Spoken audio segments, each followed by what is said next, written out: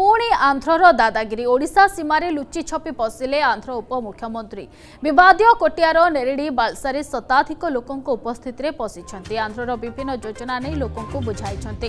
ଆନ୍ଧ୍ର ସରକାରଙ୍କ ନବରତ୍ନ ଯୋଜନାରେ ବିବାଦୀୟ କୋଟିଆରେ ଥିବା ନେରେଡି ବାଲସା ବାସିନ୍ଦାଙ୍କୁ ସାମିଲ କରିଛନ୍ତି ଆନ୍ଧ୍ରପ୍ରଦେଶର ନୂଆ ଜିଲ୍ଲା ପାର୍ବତୀପୁରମ ମାନ୍ୟମର ବିଧାୟକ ରାଜନା ଦରା ନେରେଡି ବଲସା ଗାଁ ଓଡ଼ିଶା ସୀମାନ୍ତ କୋଟିଆ ଗ୍ରାମପୁଞ୍ଜର ନେରେଡି ବାଲସାରେ ଆନ୍ଧ୍ର ପକ୍ଷରୁ ବିଭିନ୍ନ ଯୋଜନା ଆରମ୍ଭ ହୋଇଥିଲେ ବି ସ୍ଥାନୀୟ ପ୍ରଶାସନ ଏନେଇ ଚୁପ୍ ବସିଛି।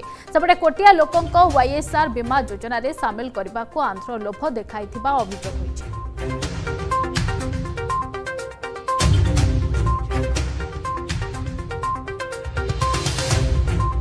ପୁଣି ଆନ୍ଧ୍ରର ଦାଦାଗିରି ଓଡ଼ିଶା ସୀମାରେ ଲୁଚିଛୁପି ପଶିଲେ ଆନ୍ଧ୍ର ଉପମୁଖ୍ୟମନ୍ତ୍ରୀ ବିବାଦୀୟ କୋଟିଆର।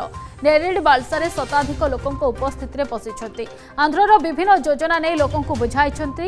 ସରକାରଙ୍କ ନବରତ୍ନ ଯୋଜନାରେ ବିବାଦୀୟ କୋଟିଆରେ ଥିବା ନେରେଡି ବାଲସା ବାସିନ୍ଦାଙ୍କୁ ସାମିଲ କରିଛନ୍ତି ଆନ୍ଧ୍ରପ୍ରଦେଶର ନୂଆ ଜିଲ୍ଲା ପାର୍ବତୀପୁରମ ମାନ୍ୟମର ବିଧାୟକ ରାଜନା ଦରା ନେରେଡି ବାଲସା ଗାଁ ଓଡ଼ିଶା ସୀମାନ୍ତ କୋଟିଆ ଗ୍ରାମପୁଞ୍ଜର ନେରେଡି ବାଲସାରେ ଆନ୍ଧ୍ର ପକ୍ଷରୁ ବିଭିନ୍ନ ଯୋଜନା ଆରମ୍ଭ ହୋଇଥିଲେ ବି ସ୍ଥାନୀୟ ପ୍ରଶାସନ ଏନେଇ ଚୁପ୍ ବସିଛି। ସେପଟେ କୋଟିଆ ଲୋକଙ୍କ ୱାଇଏସ୍ଆର୍ ବୀମା ଯୋଜନାରେ ସାମିଲ ହେବାକୁ ଆନ୍ଧ୍ର ଲୋଭ ଦେଖାଇଥିବା ଅଭିଯୋଗ ହୋଇଛି।